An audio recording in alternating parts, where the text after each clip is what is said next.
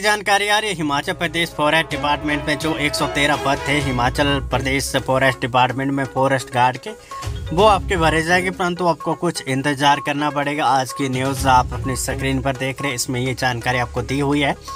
नए नियमों से होगी वन रक्षकों की भर्ती। वन विभाग में भरे जाने वाले वन रक्षकों के 113 पर भर्ती के लिए अभी और इंतज़ार करना पड़ेगा। ये आपको इसमें स्पष्ट कहा गया कि अभी और इंतज़ार आपको इसमें करना पड़ेगा। वन विभाग में भरे जाएँगे 113 रिक्त पद। ये न्यूज़ आपकी स्क्रीन पर आ रही प्रदेश में वन रक्षकों के एक से तेरह पदों को भरने की कवायद जल्द शुरू की जाएगी। नए नियमों के मुताबिक विज्ञापन जारी करेंगे। ये बड़ी जानकारी है। नए नियम है, उनमें से ये है कि अगर आपने टेंथ और प्लस टू हिमाचल से नहीं किए, बाहरी राज्यों के बहुत से कैंडिडेट हिमाचल के लिए अप्लाई करते हैं।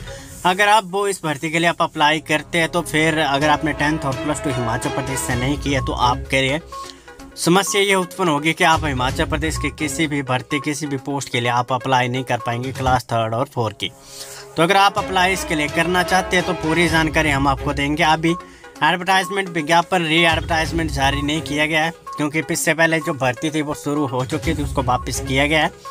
अब जो री एडवर्टाइजमेंट द्वारा से आपको इसके लिए आवेदन करना पड़ेगा और आवेदन करने के बाद फिर आपको जो इसमें एक कॉलम है, वो ऐड किया जाएगा एडवर्टाइजमेंट में कि आपने अगर टेंथ और प्लस टू हिमाचल से की है तो आप अप्लाई इसके लिए कर सकते हैं, नहीं तो आप अप्लाई इसके लिए नहीं। कैंडिडेट बहुत से स्टूडेंट्स जो हिमाचल प्रदेश के परंतु उन्होंने अपनी जो स्टडी है, वो अपने हरियाणा, पंजाब, दिल्ली से की हुई है तो उन पर ये नियम लागू नहीं होगा। ये सिर्फ़ बाहरी राज्यों के जो छात्र है, बाहरी राज्यों के जो कैंडिडेट है, उन पर ये नियम लागू होने वाला है। अठारह 18 नवंबर 2019 को जो कैबिनेट की मीटिंग हुई थी, उसमें ये कैबिनेट ने निर्णय लिया था और उसके बाद फिर आप ये जो भर्ती और सिलेक्शन का जो चयन आपका नियम है, इसमें बदलाव पूरी तरह हो चुका है।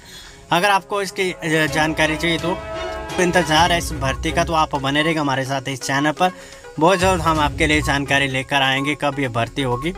एडवर्टाइजमेंट जिस दिन भी जारी होगा, उससे पूर्व हम आपको इसकी जानकारी स्पष्ट दे देंगे कि इस प्रकार से आप अप्लाई इसके लिए कर सकते हैं।